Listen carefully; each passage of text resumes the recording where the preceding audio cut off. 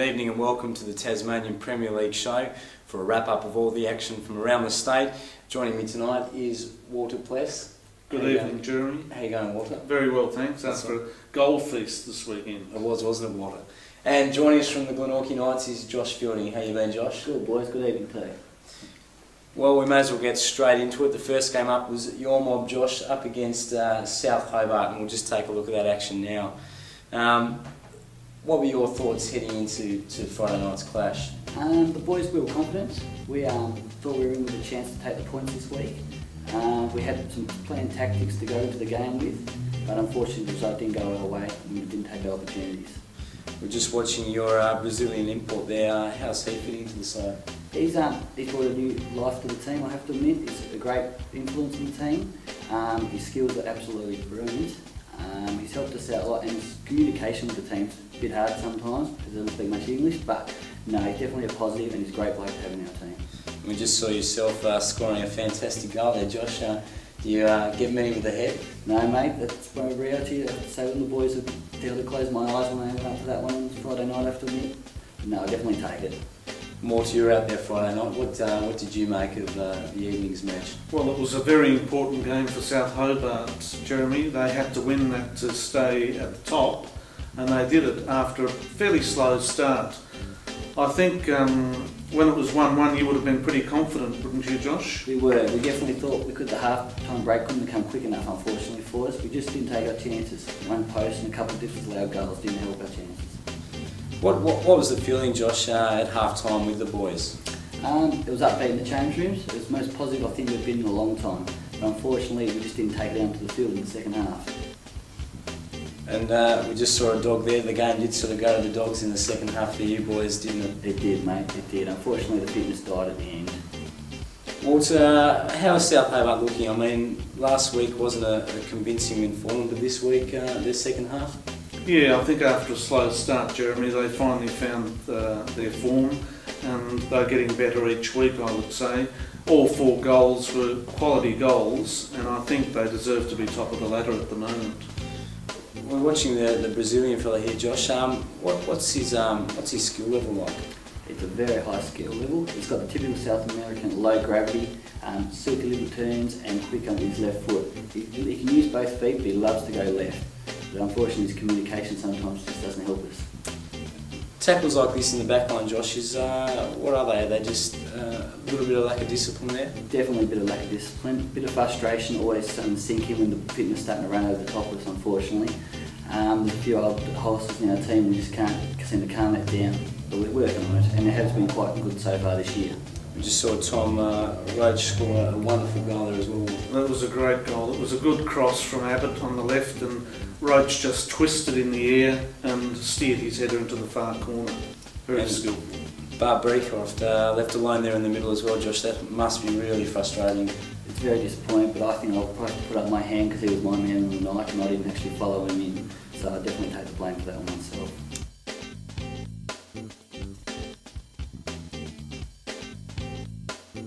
Very happy with the first 45 minutes order. I thought we matched them. Um, obviously, we need to work on our fitness a little bit more. It was definitely last 25 minutes they just ran over the top of us. They deserve the win. Uh, we'll work hard over the next two weeks. Yeah, big win for us, uh, Walter, tonight. Um, I thought the first half we were a bit sloppy, a little bit patchy.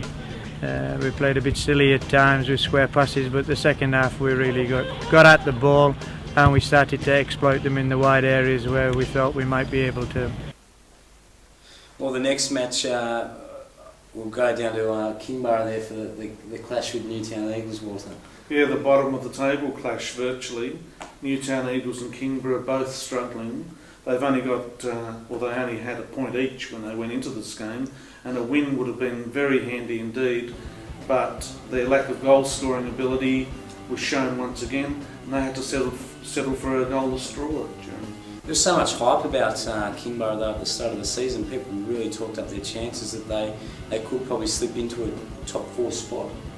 Well, not last year, but the previous two seasons, they finished second on both occasions to the Knights. They're a very well organised club, they're fit, but I think their big handicap is that they haven't got a goal scorer. It's as simple as that. I mean, like you said, they haven't lost too many players either, really, have they, Walter? No, they've retained most of their players. Charlie White has recently come back, and they've been a unit for several seasons now. If only they could find a goal scorer, they'd be they'd be okay. I feel. I guess the major loss would have been Sunita though. He, he's probably one of their biggest losses. Yes, one of the best young players in the state, lured to Victoria, as many of our promising youngsters are, and he certainly is being missed by Kingborough. And obviously Newtown, they're, they're really struggling. Uh, a club with a lot of uh, a lot of passion, and a lot of supporters. Uh, where do you think they've gone wrong over the last couple of seasons? Well, they're in a rebuilding process. The problem is how long does the rebuilding process last? They've got a lot of young players who are taking time to develop, and I think uh, with a few more experienced heads in the team, they'd probably do a bit better. They had one recently, um, the English chap who was injured and then just disappeared off the off the scene. And I guess uh, no disrespect to the Eagle squad, but probably lost their best player in uh, Taliga to the uh, to the Zebras. Well, Taliga originally came to them from the Zebras, and after two seasons without any honours, I guess he decided it was time to go back to the reigning league champions. I guess it must be hard for, for both clubs to try, try and attract players when you're sitting down at the bottom of the table with only one point your name. If you're at the bottom and going nowhere, it's pretty hard to attract talent, Jeremy. There are a few young uh, well, young players there in, in Vernon. Uh, what, what did you make of his game? he was all right until he got sent off for a second yellow card. And this happens a fair bit to Eagles. They they spoil their performance by having players sent off. Just young, uh, probably a little bit immature, lack of discipline. I think so, and over exuberance probably often, which leads them into making tackles, which uh, attract yellow cards. I guess uh, Ian Parker, do you think he'll have another year at the club if uh, there's no result this year? I'm sure he will. Um, he was a great player. Uh, he's still learning the coaching game, but he's been at it for two years with Eagles now. And I think a three-year term at least would be the done thing. We'll just uh, see the uh, yellow card here, uh, Vernon's second yellow card, and he was given his marching orders. Uh, I think everyone uh, realised that at that stage he was off the ground, and obviously that doesn't help a young side trying to rebuild. No, it means another player out for the following week. Oh, look, I think it was quite a, um, an intense game. Uh, the, they had sort of periods of the game where they were on top, uh, and we had lots of uh, periods where we were on top. It was going to be anybody's game, and I think whoever scored was going to be the eventual winner. To come out with uh, with a point, you know, after going down with 10 men, yeah, okay with it. These are games that we need to win. Both sides are looking for. If we're looking to finish further up the table, then these are the teams that you have to beat. And that's no disrespect to Eagles; they would have said the same thing about us.